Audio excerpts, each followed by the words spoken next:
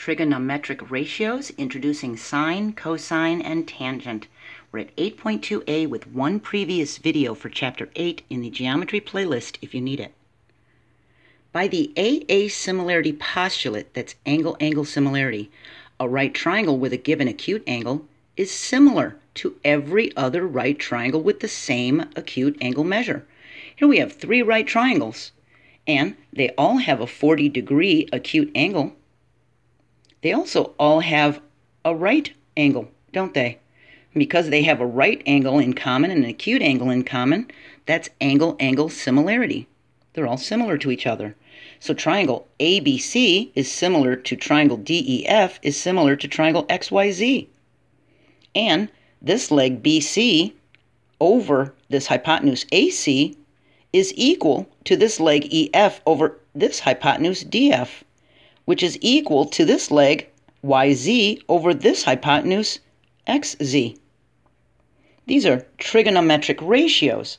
A trigonometric ratio is the ratio of two sides of a right triangle. Okay, so we're only dealing with right triangles. So here I have a big table of some of the trigonometric ratios, and just to introduce them real quick, we have sine, cosine, and tangent. All right? So the sine of an angle is the ratio of the length of the leg opposite the angle. So if we have angle A, the leg opposite it would be this one, to the length of the hypotenuse. So we have the opposite leg over the hypotenuse. And that would be the sine of A. We're talking about angle A. And the sine of B, so we're talking about angle B, would be the opposite leg over the hypotenuse. The cosine of an angle is the ratio of the length of the leg adjacent, that's next to, the angle.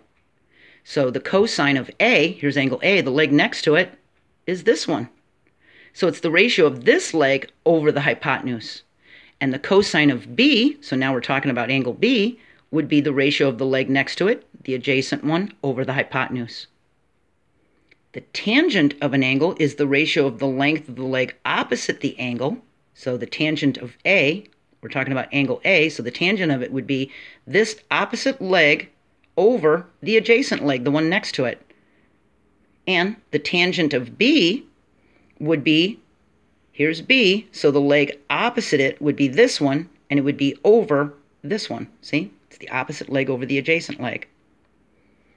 So opposite legs, the leg opposite of angle A here is this BC. An opposite leg does not touch that angle. It's on the opposite side of the triangle. And the leg opposite of this angle B would be this leg. And opposite of C, well, that's the hypotenuse, and that's not a leg. For adjacent legs, the leg adjacent to angle A is this leg right here. It's AC an adjacent leg does touch the angle. It's next to it. And the leg adjacent to angle B would be this leg right here. Okay? In trigonometry, the letter of the vertex of the angle is often used to represent the measure of that angle. So the sine of angle A is sine A. See? Right up here. So the sine of A would be the sine of this angle A. And the sine of angle B would be the sine of angle B, sine B. And the word tangent means in contact or touching from the Latin tangentum, to touch.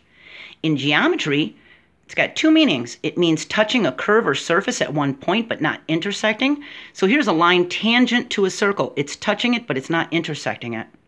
Or it means the ratio of the side of the length opposite an acute angle in a right triangle to the length of the leg next to the angle. So the tangent of angle A would be the opposite leg over the adjacent leg, okay?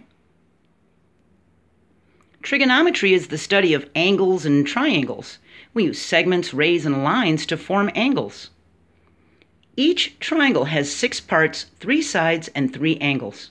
And if we measure the sides and make pairs, we'll have three different pairings. If we do division problems with the pairings, changing the order of each, we'll have six different answers. And these six different answers represent the six trigonometric functions. So we have a triangle, a right triangle here with side 3, 4, and 5. So hopefully you'll be able to follow along with what we're talking about. If we put side 3 over side 4, leg 3 over leg 4, that would be the tangent of A. It would also be the cotangent of B. Now, the ones in red and green are the ones we're going to talk about in this chapter. The ones in black, well, those of you in honors geometry are going to be talking about those, okay? If we put this leg 4 over this leg 3, then we'll have the tangent of B that's also the cotangent of B. If we do this leg 3 over the hypotenuse 5, that's going to be the sine of A, and it's also the cosine of B. If we put this hypotenuse over this leg 3, that's the cosecant of A.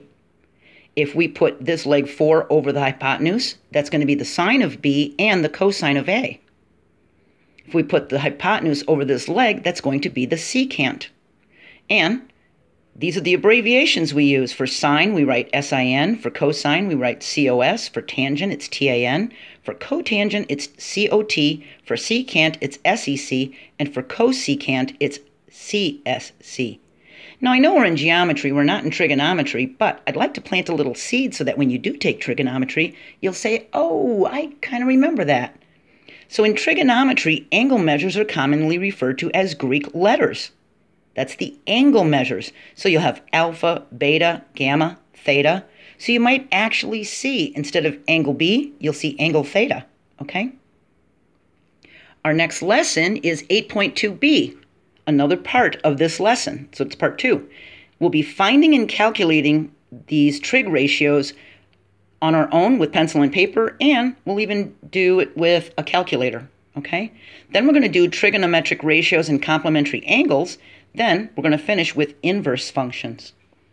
Now, if you don't have a scientific calculator, you can turn your cell phone calculator sideways and you'll see the cosine, sine, and tangent buttons, okay? I hope you understood this. Now you know a little bit about trigonometric ratios, and now you know what sine, cosine, and tangent are, all right? So I hope you're doing well. Keep trying, and I'll see you next time. Bye.